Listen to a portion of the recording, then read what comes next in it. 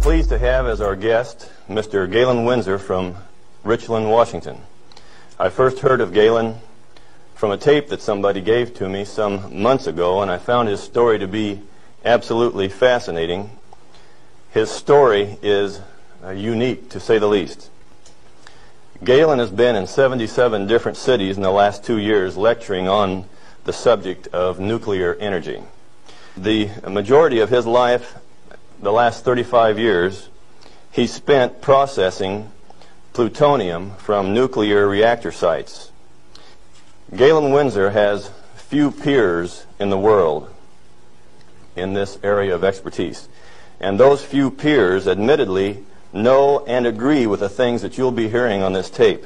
However, except for two or three of these experts, they've all chosen to remain silent for reasons which they only know leaving this man then the burden of leading this lonely battle of exposing what we call the nuclear scare scam.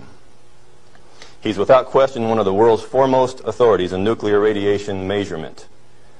And he's recognized by members of the Atomic Energy Commissions of all the major nations of the free world. Mr. Galen Winsor.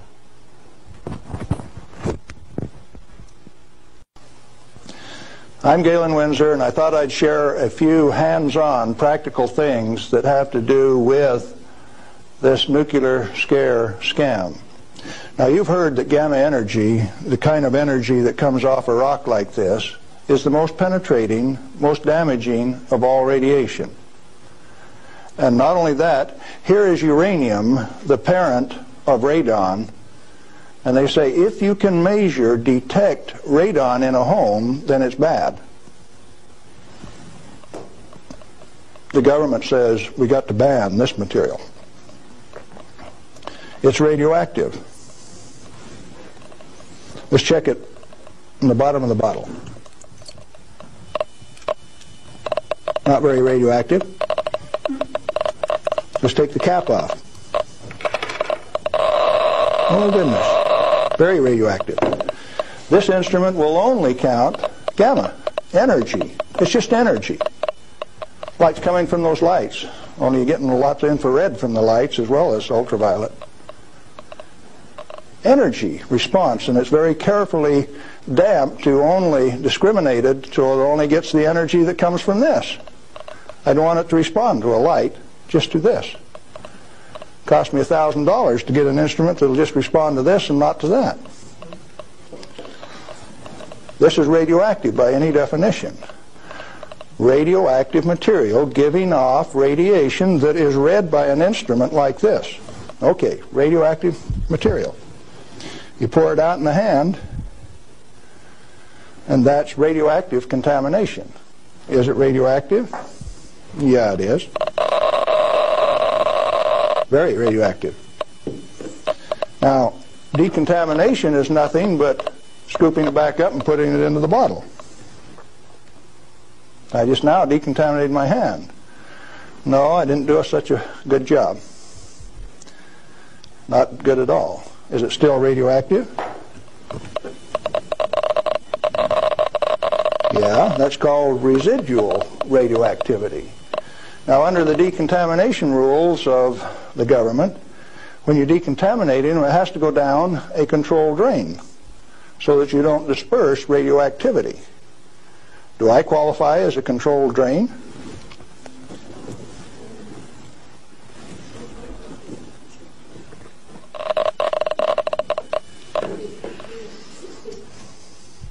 That material that I just ate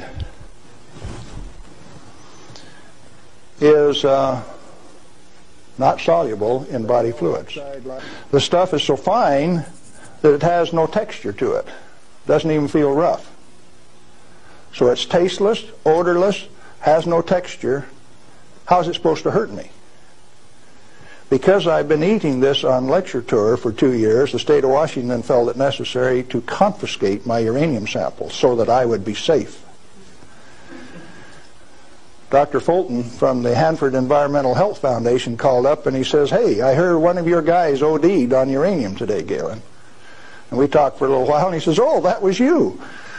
And I says, listen, I can eat all that stuff I want. He says, it'll ruin your kidneys. How are your kidneys? They're fine. Well, you should have been chelated within four hours. Well, here's a piece of metal.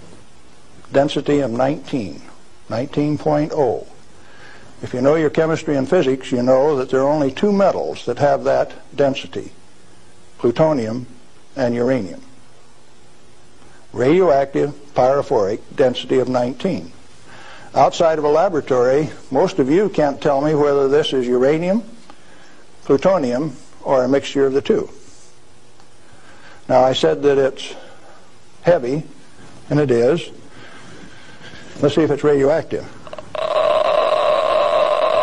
Yeah, it is. Pyrophoric, what does that mean?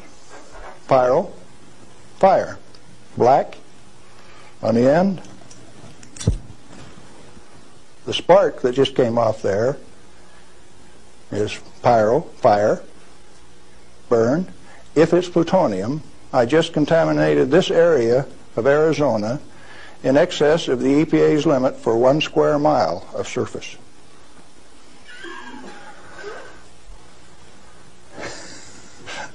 Somebody laughed. It's serious. The end of progress altogether says that I just contaminated you in excess of the limit for one square mile. It's now silver on the end.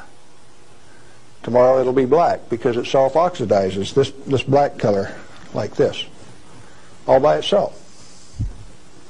Plutonium does that and uranium does that. Is it hazardous? Yeah, it is, because they take depleted uranium metal and make it into 50 caliber bullets, fire them from shoulder-held weapons. In 1976, they obsoleted tank warfare with these things because it only takes one dog face with one weapon to knock out a 65-ton tank. It'll go through three inches of armor plate, and when it comes out the other side, it's that white hot spark that we just made. And the five men in that tank are dead because it'll burn all the oxygen out of the air and burn their flesh. Well, in your estimation, then, how dangerous is a nuclear reactor plant? A nuclear reactor plant is just a way to boil water that's the cleanest, neatest, most economical way to boil water that you've ever seen. Can a nuclear plant explode? Only like any other steam plant. Like Laughlin, Nevada had a steam explosion. It's a coal-fired plant, but six men were killed there last year.